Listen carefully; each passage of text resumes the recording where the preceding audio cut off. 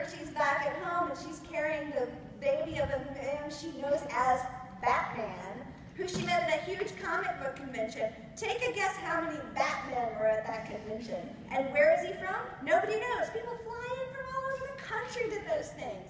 So here's Leia pregnant with Batman's baby.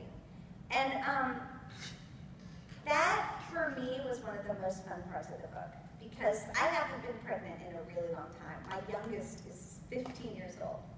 And to sort of revisit pregnancy without actually having to do it was, it's, it's one of my favorite parts of the book. She's pregnant for, for most of the book. And like, I just, I started remembering like that, the way, that's the way we all begin, right? That's everyone's origin story. And I remember like, the first time I was pregnant, like when I